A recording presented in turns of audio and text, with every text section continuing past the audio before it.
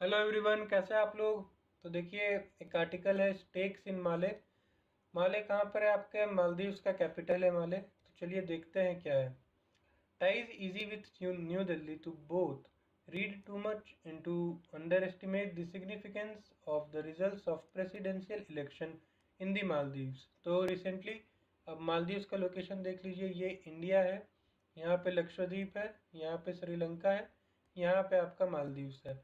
मतलब लक्षद्वीप के नीचे और इंडिया के मतलब ये भी इंडिया ही है, पर इंडिया के मेन लैंड से आप देखिए, आपके ये है साउथ ये साउथ हो गया और आपका ये वाला डायरेक्शन होता है वेस्ट तो साउथ वेस्ट डायरेक्शन में और लक्षद्वीप के साउथ में। तो ये तो लोकेशन आपका रहा मालदीव्स का। तो चलिए वहाँ पे अभी रिसेंटली प्रेसिडेंशियल इलेक्शन हुए हैं तो उसी के ऊपर ये है। The somewhat surprising victory of Mohammed Muizzu तो यहाँ पे मोहम्मद मुइजू जीते हैं। After a second round run off election earlier this week is widely seen as being to China's benefit तो यहाँ पे बात हो रही है कि ये चाइना के लिए बहुत बेनिफिशियल है। क्यों? क्योंकि ये जो मोहम्मद माइजू हैं ये बहुत प्रो चाइना है इनका अप्रोच तो और प्रो चाइना है तो ऑब्वियसली अगर कोई प्रो चाइना है तो वो आ, इंडिया के फेवर में तो नहीं है। तो ये जो जीता है मोहम्मद मुइजू, ये प्रो चाइन चाइना इनका अप्रोच रहता है। तो ये एंटी चाइना कहीं ना कहीं ये एंटी चाइना जाते हैं, देखते हैं। India ties with Maldives issue in the campaign ठीक है?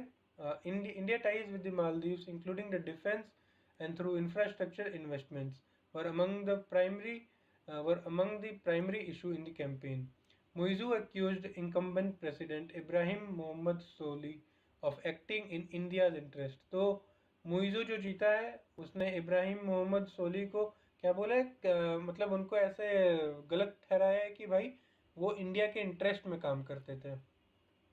And continue the India out campaign अब मैं आपको बता दूँ, यहाँ पे अगर मालदीव से मालदीव में, मालदीव को सिक्योरिटी इंडिया देती है तो वहाँ पे एक इंडियन आर्मी की ट्रूप भी है।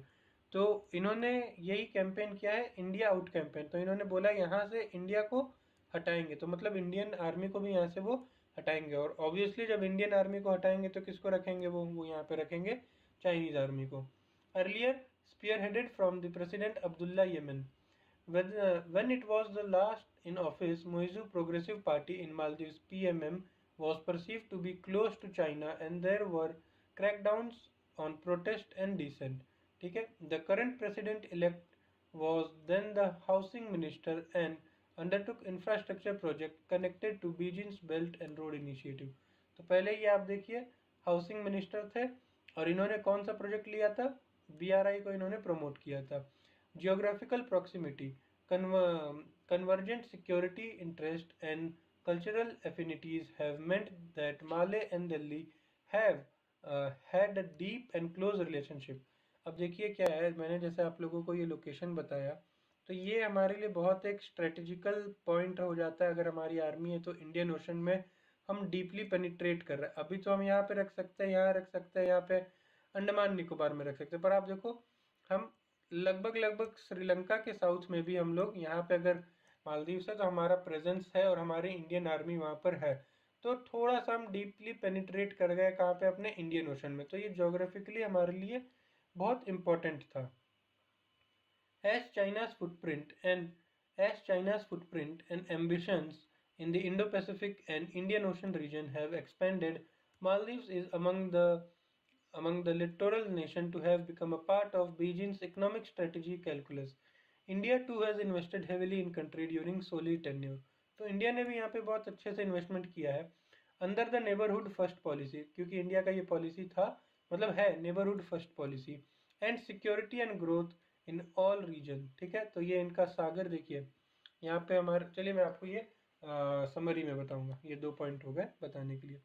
Security cooperation between two countries has grown this is in addition to Colombo security conclave which include Sri Lanka India and Maldives Delhi has also provided financial assistance for the greater Male connectivity project among other infrastructure collaboration There is little doubt about that Muizzu जो अभी president बने हैं like Yameen is close to Beijing the president elect the president elect ended up as the oppositions consensus candidate after the ruling Maldivian Democratic Party saw major defection, including former President Mohammad Nasheed. In fact, Muizu is seen by many as a proxy for Yemen, who could not contest election because of his conviction and imprisonment on corruption charges. Nasheed, after switching sides, has emerged as a kingmaker of sort and, were, and was perceived as not being anti-India issue of governance and economy to played a part in this election, as they were variably do. The election results notwithstanding, Delhi continue to have stake in the country. The significance of stable and mature bilateral re relationship, its ability to transcend governments, keeping that possibility uh, open with the new governments in Mali is now challenge for India's foreign policy establishment. तो यहाँ पे बताया जा रहा है कैसे India के लिए वो थोड़ा challenge है अब. Perhaps the greatest silver lining of India and other well-wisher of the Maldives is peaceful transition of power in a country has often, often seen a political turmoil. तो चलिए देखते हैं यहाँ पे हमारे लिए। अब देखिए क्या है मालदीव तो हमारे लिए इम्पोर्टेंट हो ही जाता है। अब जैसे मैंने आपको बताया ये इंडिया है यहाँ पे श्रीलंका हो गया यहाँ पे आप मानिए आपके लक्षद्वीप हो गए। तो यहाँ पे आप देखिए ये मालदीव से आपका ठीक है? और इसका कैपिटल आपका माले हो गया। तो ये तो हमारे लिए इम्पोर्टेंट हो जाता है लोकेशन वाइज आप देखिए दो तीन चीज़ें मैंने आपको बताई है। क्यों यहाँ पे इम्पोर्टेंट है? इंडियन ओशन में डीप पेनिट्रेशन हो रहा है किसका? इंडिया का, ठीक है? इंडिया की ट्रूप्स है मालदीव्स में, यहाँ पे अभी इंडियन ट्रूप्स है, ठीक है? और ये जो अभी कैंप इलेक्शन जीता है मोहम्मद मुइजू, उसने क्या कैंपेन चलाया था? इंडिया आउट कैंपेन तो मतलब इंडिया को यहाँ से रिमूव करेगा। यहाँ पे लिखा भी था, ये चाइना के लिए बहुत बेनिफिशियल है इसका जीतना, क्योंकि कहीं ना कहीं वो प्रो चाइना है। ये जो अभी जीता है, ये प्रो चाइना आदमी है। सिंपल सी बात ये है। अब आप देखिए इंडिया का यहाँ पे बता रहा है कि इंडिया ने बहुत वहाँ पे हेविली इन्वेस्ट किया है। कोलंबो सिक्योरिटी कॉन्क्लेव भी है इंफ्रास्ट्रक्चर कोलेबरेट भी किया है इंडिया ने। तो और ये सब क्यों किया है? क्योंकि इंडिया का नेबरहुड फ़र्स्ट पॉलिसी था।